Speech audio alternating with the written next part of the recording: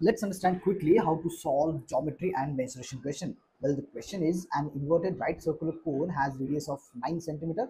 Alright, so this is the cone of radius 9 centimeter and this cone is partly filled with oil which is dipping from a hole, right? So ये जो inverted किया गया cone है ये यहाँ से leak हो रहा है, right? ठीक है? So at the speed of 1 centimeter per hour. Okay. Currently the level of oil is 3 centimeter from the top. So from the top to somewhere in the middle of the cone, this is 3 centimeter, right?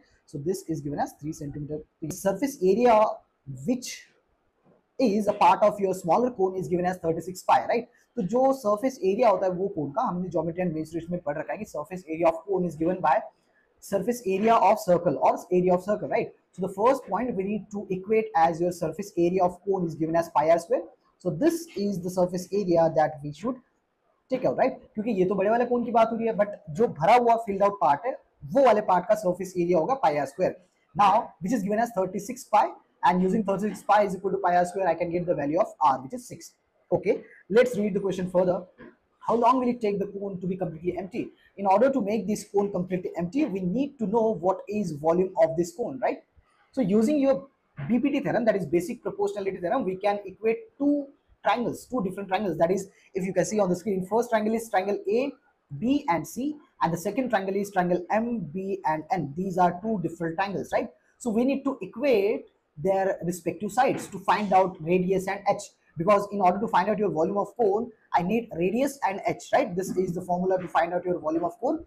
Now, first of all, we have already the value of r that is 6 and now we need value of h and that we are going to derive using your BPT theorem. So if you look at these two triangles that is triangle ABC and triangle MBN, I can take the ratio of side of first triangle to the side of second triangle that is AB by MB.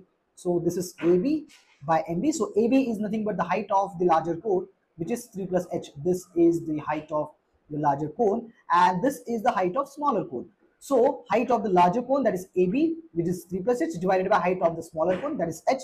This is we're doing using BPT, right? So to understand what is BPT, please watch other videos which is available on the same YouTube channel.